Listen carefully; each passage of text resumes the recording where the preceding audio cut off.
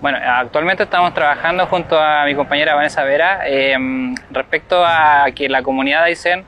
eh, se registre en relación a la discapacidad, ya mediante la credencial de discapacidad que se llama Registro Nacional de Discapacidad, que es para que las personas tengan un montón de em, eh, beneficios en relación a, a, favorecer la independencia y autonomía y estamos trabajando mediante sectores y lo que buscamos en el fondo es trabajar bajo la RBC, que la rehabilitación basada en la comunidad, que empoderar a las personas que se acerquen a los lugares, a los dispositivos que vamos a estar trabajando para que se inscriban y se anoten en relación a, materia de discapacidad para nosotros tener también un catastro y este diagnóstico participativo que el cual estamos trabajando para que mm, la comunidad de se levante en la esfera de discapacidad.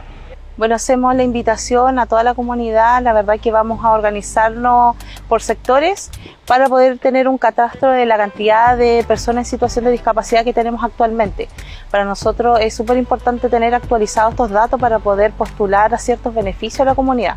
Entonces, la idea es que las personas se acercan a estos sectores